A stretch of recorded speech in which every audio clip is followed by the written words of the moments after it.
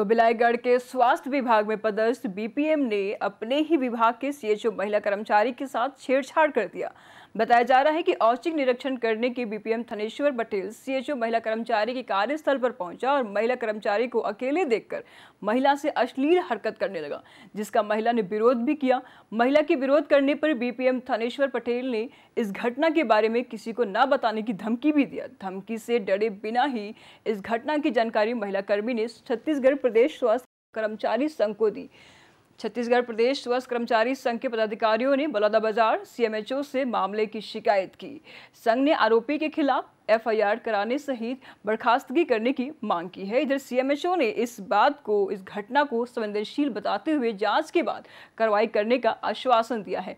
ऐसे में छत्तीसगढ़ स्वास्थ्य कर्मी कर्मचारी संघ आरोपी के खिलाफ कार्रवाई नहीं होने से मामला और गर्म हो जाएगा।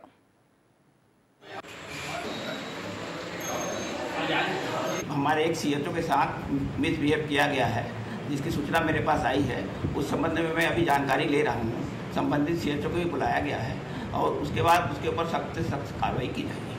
सर सिमगा वाले मामले में अब तक कार्रवाई नहीं हुई है। अभी एक बड़ी मामला है। इस पर कार्रवाई होगी कि नहीं होगी? सिमगा वाले मामले में अभी जाँच चल रही है जाँच रिपोर्ट आने वाली है। जैसी जाँच रिपोर्ट आती है उसके ऊपर कार्रवाई की जाएगी। सर वर्तमान में जिनके ऊपर आरोप लगा है इनके ऊपर पूर्व में भी सिमगा और पलारी में भी आरोप लग चुका था। ऐसे में ये तीसरा मामला सामने आया इसमें क्या कहें नहीं मैं ये कहना चाहूँगा अगर ऐसी हरकत किसी के द्वारा की गई है तो वो अवांछनीय है और एक तरह से जुट ये हमारे विभाग में सी एच ओ पदनाम से जो समुदाय समुदाय चिकित्सा स्वास्थ्य अधिकारी के पदस्थ हैं उनके साथ एक महिला कर्मी के साथ यहाँ बिलाईगढ़ का जो बीपीएम है उसके द्वारा बदतमीजी की गई, छेड़छाड़ की गई ड्यूटी पीरियड में। जिसके कारण लड़की और लड़की के परिवार पूरा आहत है और जिस बीपीएम ने किया, उसका सपोर्ट वहाँ के खंड चिकित्सा अधिकारी के द्वारा किया गया।